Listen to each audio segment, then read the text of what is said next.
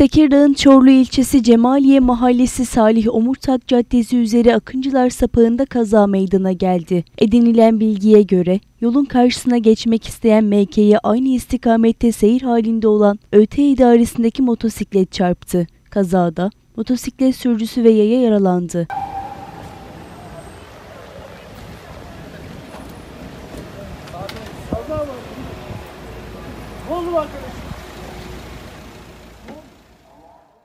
Yaralılar olay yerinde yapılan ilk müdahalenin ardından Çorlu Devlet Hastanesi'ne kaldırılarak tedavi altına alındı. Polis ekipleri kazayla ilgili inceleme başlattı.